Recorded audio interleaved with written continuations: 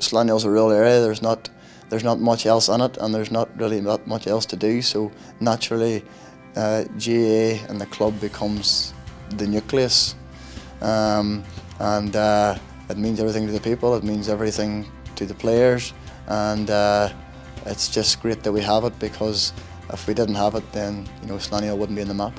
It's just situated outside, about three or four mile outside wee town Maghera. Um, probably 250, 300 families. Um, it's a spread out area, but like, it's the countryside. It's, it's, all, it's always going to be spread out. But um, no, it's, it's a it's a big enough area, but there's very few people in it. Surprisingly, Mother Farr never really was involved with the with, with the club, but um, living in the community, then sort of everybody was going to the club.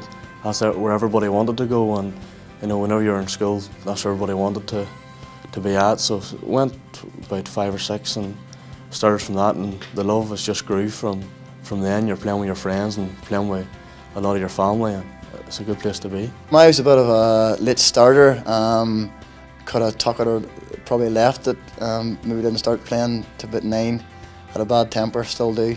Um, so probably nine or ten was I really started playing. Um, and it was just in our family. They played for Slaughtneil, so it was natural for me to play for Slaughtneil. Brother does nets for the for the hurling team as well, and sister's uh, sub in the camogie team.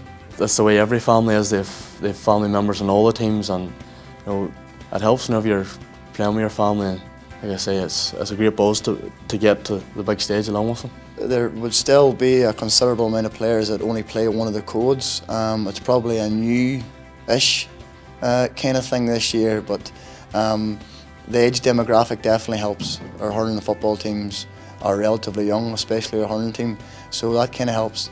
It might change in a couple of years' time when the bodies start to age a little bit or get a couple of knocks. So, uh, but at the minute, um, we embrace all codes, and uh, it's it's one of the reasons why Slaughtneil are being talked about. It's not because of hurling or football or camogie. It's because of all three, and uh, that's something we take great pride in.